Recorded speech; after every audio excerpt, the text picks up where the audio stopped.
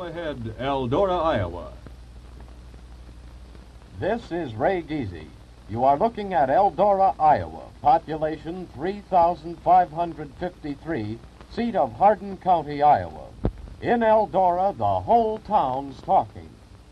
Over at the Congregational Church, a mother tells clergyman Ralph Hines that Eldora's first responsibility is to take care of the education of its own children. At the sales barn, Farmer Clampett insists that the farmers in Hardin County have the right to educate their own children in their own way. In the county courthouse, Senator Bateson tries to convince the bailiff that every child in Hardin County should have equal opportunity for the best education possible.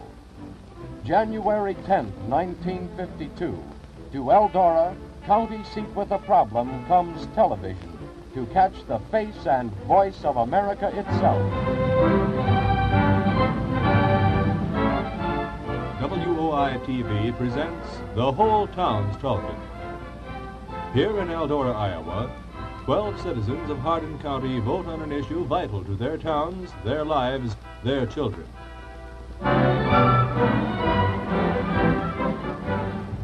This is one of the three Eldora schools, a good building but seriously overcrowded. Eldora cannot afford enlargement or improvement. Other towns in Hardin County face similar problems. Within an hour, in full view of the television cameras in this classroom, before the eyes of their children here, their neighbors watching at home, and the entire quarter million viewing audience of WOI TV, these 12 Iowa citizens from Whitten, Ackley, Alden, New Providence, Hubbard, Union, Owasa, Iowa Falls, Steamboat Rock, Eldora, and Radcliffe will make a symbolic decision on how to solve the Hardin County school problem. Guiding them for the whole town's talking will be Ralph Hines, clergyman from Eldora, Iowa. And here on the whole town's talking vote board are the alternatives these people must face. They can stay put, keep all 53 Hardin County school districts as they are. They can vote the county's 11 district plan, in which each high school district would absorb its neighboring rural areas. Or they can choose the 5 to 8 plan, calling for a survey leading to a merger of the present 11 high schools into 5 to 8 districts. This might mean better education for the children of Hardin County. But would it destroy the spirit of the smaller towns? This afternoon, before free discussion and argument, a secret ballot taken by these 12 on this issue was stay put, one vote, 11 districts, six votes, 5 to 8 plan, five votes.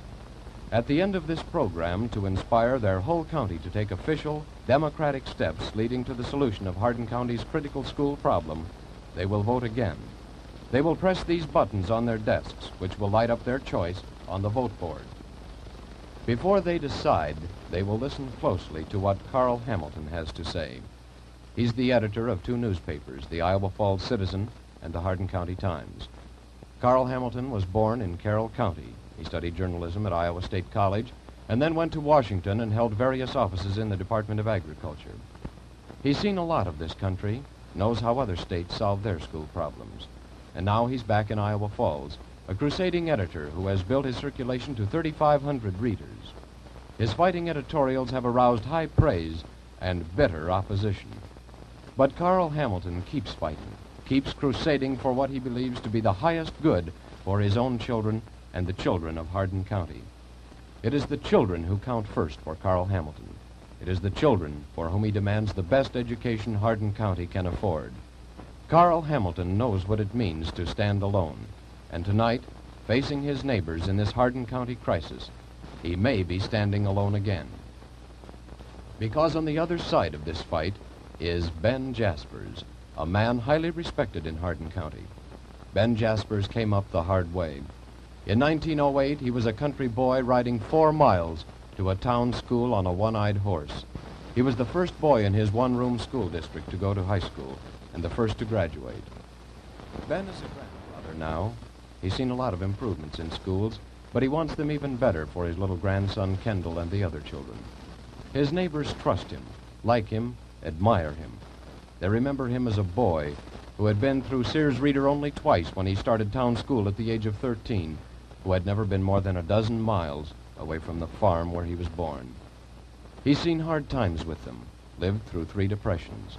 Now, he's Ben Jasper's banker, leading citizen of Steamboat Rock, Iowa, president of Hardin County School Board, man of many pursuits. He spent his whole life in an American small town. He believes in a small town values, in the home, church, the school. He believes in the men and women who work to keep them strong. Ben Jaspers, of the small town, for the small town, who tonight leads the fight to preserve what he believes to be a truly American way of life.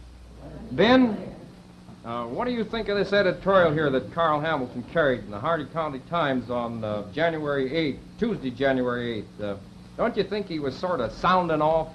Oh, well, that's nothing new. Carl's always sounding off. You notice the headlines here? It says proposed 11 administrative units in Hardin County. Jaspers will show map of proposed units for the first time on television discussion Thursday night. Ben, just what is that? Well, Ralph, it is a fact that the Hardin County Board of Education did adopt a tentative map in their meeting last Monday afternoon. But uh, I suppose that you were referring uh, referring to the editorial that Carl had in there about the cart before the horse. Was that it? That's right. Well, Carl's always horsing around, and I doubt whether he's got a cart to get a horse behind as far as that goes.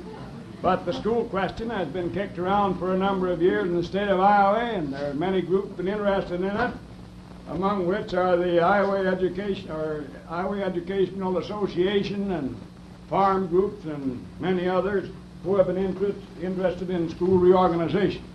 A number of years, a law was passed uh, which pretended to be a reorganization law, but uh, didn't work out very well because it was the kind of a thing that wasn't acceptable to the people of Iowa. You mean the people didn't like it? Is that it? No, the people didn't like it for the simple reason that the that the thing was designed to be administered from the top down. That's one of the objections. The other great objection was that, that the law had a tendency to consolidate or, or contract the uh, administrative units to one or two in the county. Now, that was really what the law was designed for. Now, we all know that the people of Iowa and the people of Hardin County don't go for that kind of a program. Now, I think that the word organization is an ill chosen word. A reorganization den- uh, denotes defeat or distress, failure.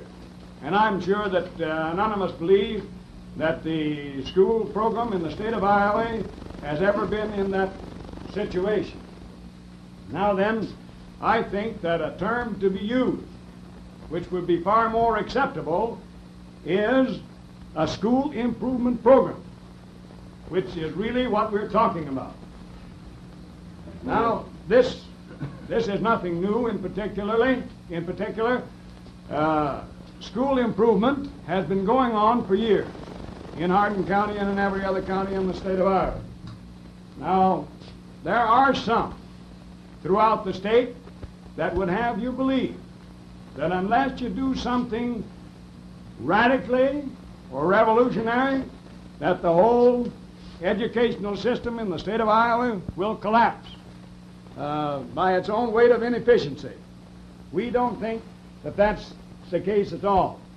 As far as school improvement is concerned, it's been going on for 50 years. Now, I don't think there's anybody going to dispute that statement because uh, if they do, it's just because they haven't been close enough to the educational program or that they haven't lived long enough. Now then, we do have some maps here that we want to show you that the board has introduced, and I'm going to just take the liberty of walking over here to show them. At the present time, the county is divided into 53 districts, 53 administrative units, or in other words, there are 53 boards of directors and 53 school setups in the county. That does not mean that we have necessarily 53 schools. I'll come to that in just a few moments. Now, to replace this present situation, the